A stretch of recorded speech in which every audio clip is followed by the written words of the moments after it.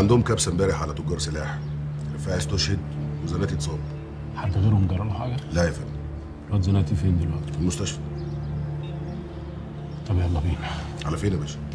زيارة المريض واجبه برضه. ده واحد من رجالتنا. لا إيه؟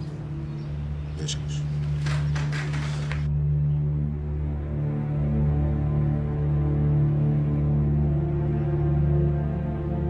دل على السلامة يا زناتي.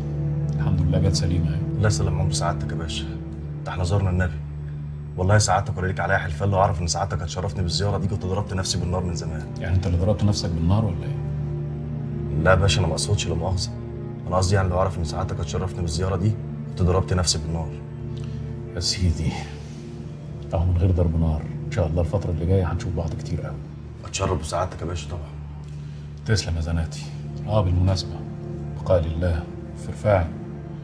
قالوا لي إنه كان صاحبك وحبيبك قوي الا كان صاحبي يا باشا. ده كان أكتر من أخويا. الله يرحمك يا رفاعي والله يا باشا ولا ليك عليا حلفان ما مصبرني على المصيبة السوداء دي غير إنه مات شهيد. زمانه متهني في الجنة ونعمها. ربنا يكتبها لنا. ولا أنت ما تحبش نهايتك تبقى زي نهاية رفاعي. أعوذ بالله يا باشا.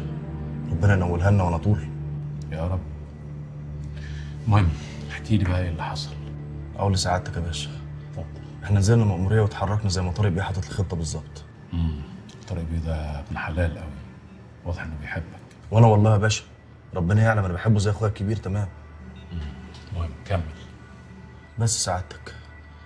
اتحركنا أنا والمرحوم رفاعي دخلنا زواق ضلمة كده ومشينا جنب الحيط عشان نوصل في آخره للسور. السور بتاع البيت لا مؤاخذة يعني. وننط جوه لحد ما بقيه الرجاله يحصرونا من الناحيه التانية. كان قرار مين بقى انكم انت ورفاعي تخشوا من الزقاق ما أنا قلت لسعادتك يعني طارق بيه هو بيحط الخطة. أيوه يعني هو كان قرارك انت ولا قرار رفاعي ولا قرار كنتوا الاثنين ولا قرار طارق بيه؟ يعني سعادتك هو يعني كان قراري وقرار طارق بيه. بس سعادتك طارق بيه ليه طريقة معينة كده يعني في الشغل يعني بيفكر مع رجالته بصوت عالي عشان نوصل لأحسن نتيجة يعني. ديمقراطية يعني. على فكرة الديمقراطيه حلوة قوي في الشغل. مش قلت لك إنه بيحبك وبيثق فيك وبياخد رأيك أهو في كل حاجة.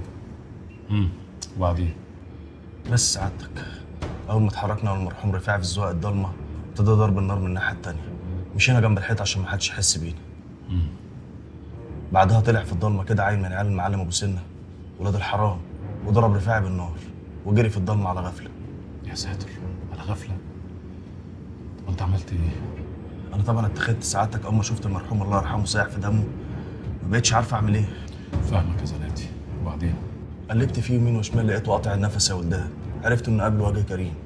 قمت أضرب نار بشكل عشوائي كده في الضلمة. الواد كان خفيف في الضلمة الدنيا كانت كحل سعادتك.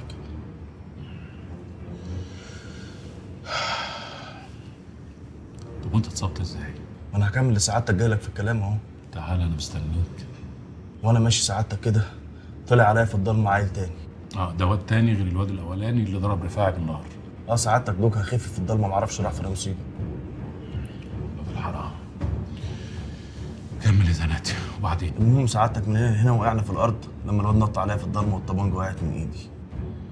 هو شد وأنا شد وكان في فرد بلدي لا مؤاخذه في إيدي. راح ضاربني بالنار. سحت في دمي وهو جاري ورا زميله واد الحرام. كمل يا زناتي وبعدين؟